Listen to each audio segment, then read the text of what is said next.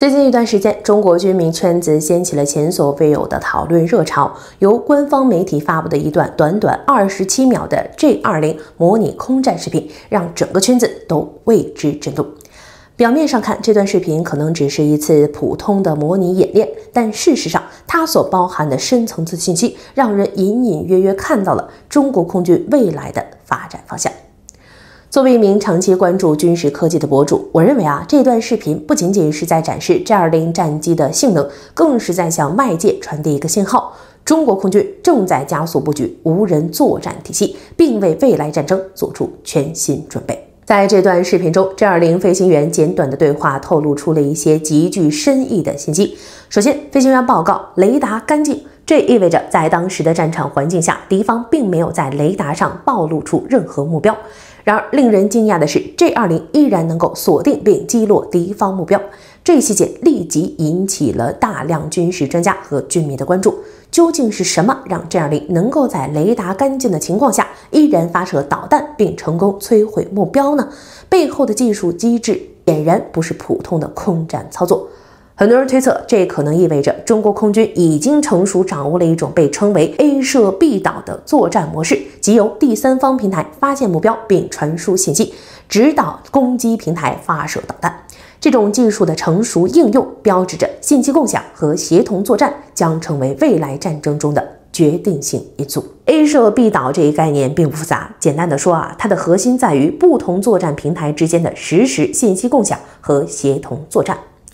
例如，预警机发现敌方战机，并将其位置传送给正在待命的 J-20 战机；后者呢，则根据预警机提供的精确数据，迅速发射远程导弹，完成攻击。这种协同作战模式意味着，单纯依靠个体战机的空战已经逐渐被更为复杂的战场体系所取代。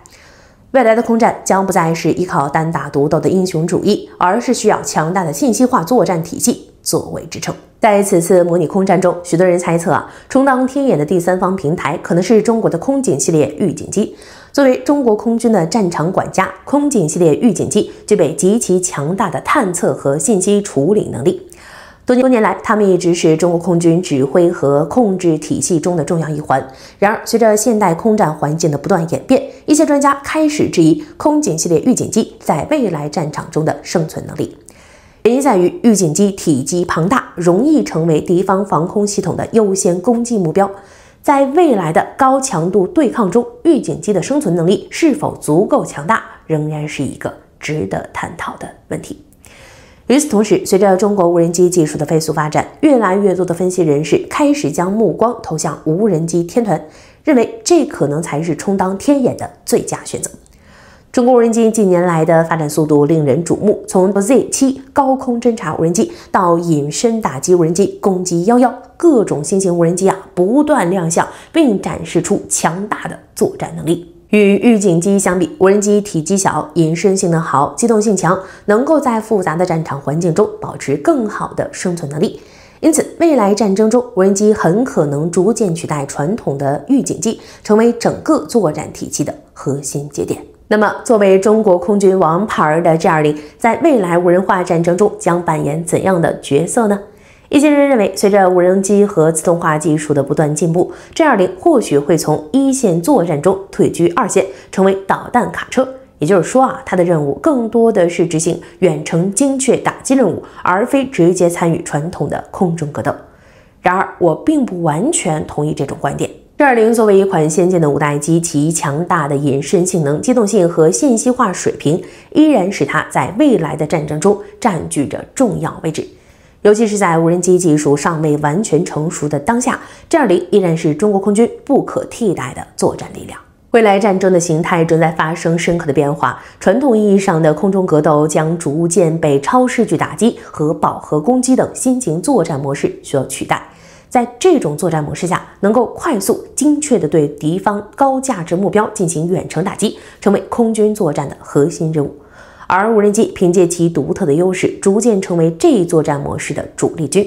与有人机相比，无人机在多个方面展现出了更为明显的优势。首先，无人机的载弹量更大。G 二零由于其隐身设计，在挂载武器时存在一定的限制，尤其是在执行远程作战任务时，导弹的携带数量相对有限。而无人机呢，由于不受机体尺寸和隐身需求的限制，能够根据任务需求灵活调整武器挂载方案，甚至可以携带大量炸弹进行地毯式轰炸。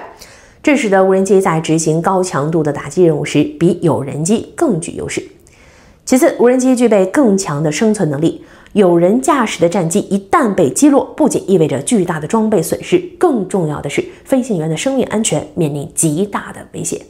而无人机呢，则不存在这个问题。即便在执行任务过程中被敌方击落，损失的仅仅是一架装备，作战人员不会因此受到伤害。这种特点使得无人机能够承担更为危险的任务，深入敌后进行侦察、打击等高风险任务。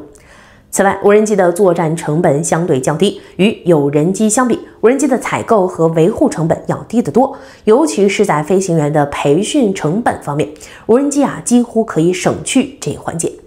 培养一名合格的战斗机飞行员需要耗费大量的时间和资源，而无人机可以在短时间内形成作战能力，这无疑大大提升了整个作战体系的效率。然而，要让无人机真正取代有人机，特别是在高强度的空战环境中执行复杂的任务，还有一个关键的问题亟待解决：无人机的智能化程度。虽然无人机在执行单一任务时表现出色，但在复杂多变的战场环境下，无人机的自主决策能力仍有待提升。与人类飞行员相比，无人机在面对突发情况时的应变能力较弱，容易受到干扰或误判。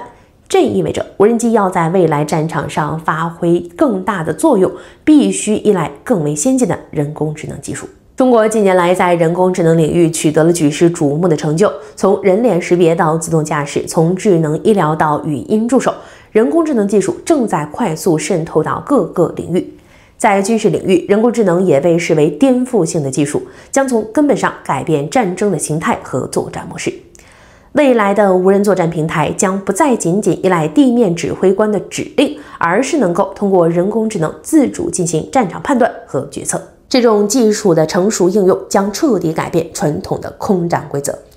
中国军方对人工智能的重视程度可见一斑。作为未来战争的制高点，人工智能的应用不仅仅局限于无人机。可以预见，未来中国空军将拥有一支由 AI 驱动的无人机天团。这支无人机天团不仅能够在空中执行侦察和打击任务，还能够与有人机协同作战，形成一套完整的无人作战体系。从长远来看，无人机的快速发展和应用已经引起了西方国家的高度关注，